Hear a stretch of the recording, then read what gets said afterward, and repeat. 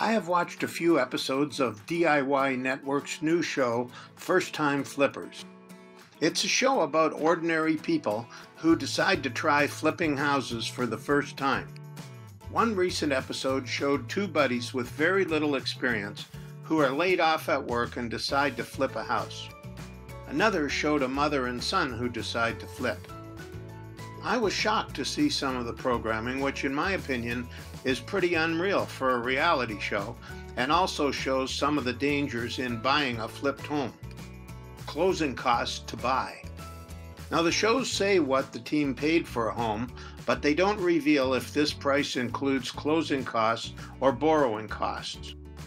I haven't seen it explain what funds were used to pay for the home and the renovations. Insurance. The home gives a timeline like three months or six months to do all the work when flipping houses, but they never discuss insurance. My experience tells me it would be very difficult to get insurance on a vacant home that is experiencing renovation. It would definitely be more expensive than regular homeowners insurance if it was available at all. I would advise those considering flipping houses to be sure to protect themselves with proper insurance. Permits and inspection when flipping houses. Most incorporated areas require permits to do renovations, including things you might not consider, like replacing a water heater or patio.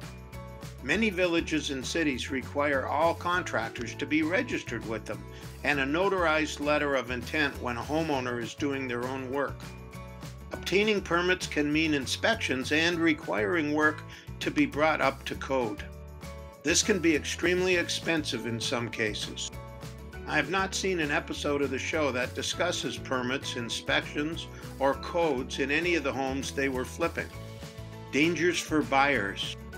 The show alerted me to a danger for buyers of homes that were flipped by amateurs that I had not considered. In both episodes I watched, the inexperienced flippers took out a load bearing wall and shored up the space with a beam they considered adequate. But they were just guessing it was adequate.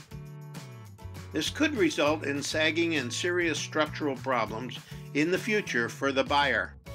Flipping houses with work on load bearing walls, foundations, drainage, and other situations may require engineers, architects, and other professionals with specialized knowledge. Buyers of homes that have recently been flipped may be in danger of serious costs caused by people flipping houses without the proper knowledge. Unrealistic open house. In both episodes I watched, the house flippers worked towards an open house they hope would sell their home. This was, in my opinion, very unrealistically shown. As a realtor who does a lot of open houses, I can tell you that open houses are a great way to attract buyers, but most end up buying homes other than the one that is open.